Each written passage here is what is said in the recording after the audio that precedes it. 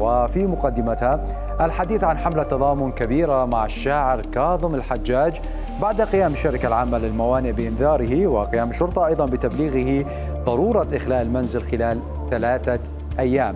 المنزل كان خصص للشاعر الكبير منذ ثلاث سنوات في مهرجان المربد الشعري.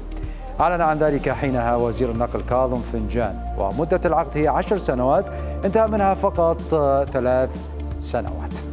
هذا التصرف أثار الغضب واعتبر إهانة لقامة أدبية وشعرية كالحجاج مهدي كتب أو تساءل يقول هل يعقل أن يطرد الحجاج وعائلته إلى الشارع؟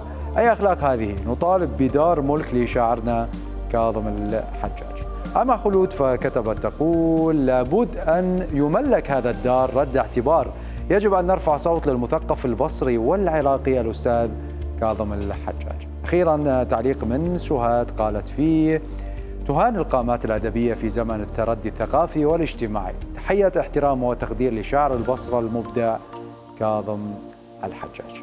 طبعا بعد حملة التضامن هذه مع الشاعر الكبير صرح مدير الموانئ فرحان محيسن أن ما حصل تصرف فردي وأن الحجاج يمثل رمز من رموز البصرة وسيبقى في منزله. وسيتم أيضا تخصيص قطعة أرض سكنية له ودعمه لبنائها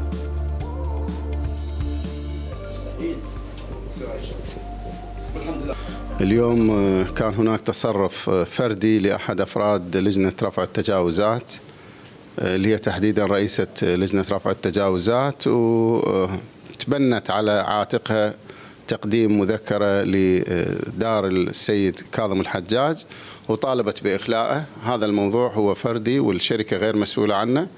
كون السيد الحجاج يمثل رمز من رموز البصرة وبالتالي نحن متبنين لتهيئة دار سكنية له.